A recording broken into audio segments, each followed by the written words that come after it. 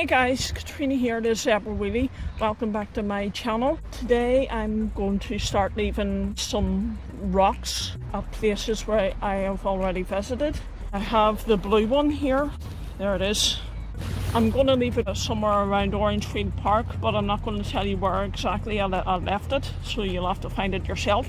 It should be fun.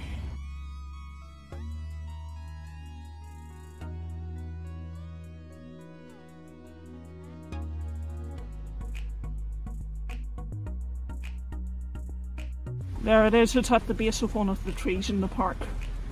There's squirrels everywhere in this park. Oh look, that's gorgeous. I know these guys are invasive, but they're still gorgeous. Hello. Not afraid of me or Max at all.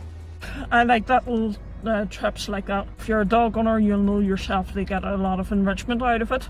To think that a few years ago I wasn't able to do much of this especially on bad days like but I've come on quite a bit. Uh, so a bit of an update for you.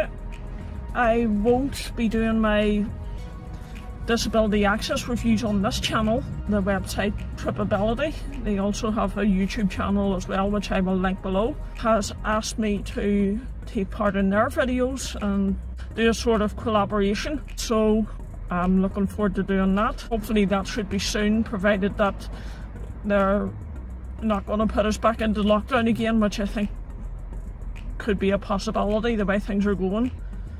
I know they've tightened the restrictions, I think it was last week anyway, uh, but fingers crossed that they don't go back into full lockdown again.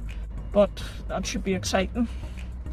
I have quite a few places that uh, we want to uh, go and it will be a professional camera crew that it's doing it so that's even better. Also, I've got word back from my college. I am starting uh, college on Wednesday, which will be uh, today if you're watching this. I'm really, really looking forward to it. It's just a like a part-time course for IT, and I will be doing uh, Adobe Premiere Pro as well. Uh, so that should uh, help out quite a bit with my channel. So uh, I'm really, really looking forward to it. Uh, the college only emailed me last week to say that I got a place, so somebody must have called out or decided that they didn't like the, the, the course and I got the place instead. All the better for me. Uh, also, I got a reply from Belfast Trust about my complaint. If you remember a while back, I complained about the the physio that I was getting and the the lack of communication that I was getting from her. Uh,